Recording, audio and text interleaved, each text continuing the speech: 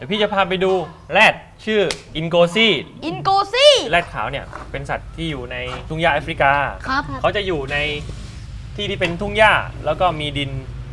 เป็นที่โล่งครับเนาะแล้วตัวนี้อายุเท่าไหร่อะครับ 12 ขวบแล้วครับ เพศผู้ครับ แล้วนิสัยเจ้าซี่มันดุไหมครับ ไม่ดุนะครับ นอกจากว่าเวลาเขาติดสัตว์นะครับ เขาจะค่อนข้างดุร้ายครับ แล้วไอ้ข้างหน้าเหลี่ยมๆมันคืออะไรอะครับ อันนี้เขาเรียกว่านอครั บางตัวบางชนิดก็จะมี 2 นอเนาะอย่างที่เราเห็นนอเล็กด้านหลังแล้วมันมีไว้ทำไมครับเขาจะมีไว้ต่อสู้กัน แล้วก็ไว้ป้องกันตัว อ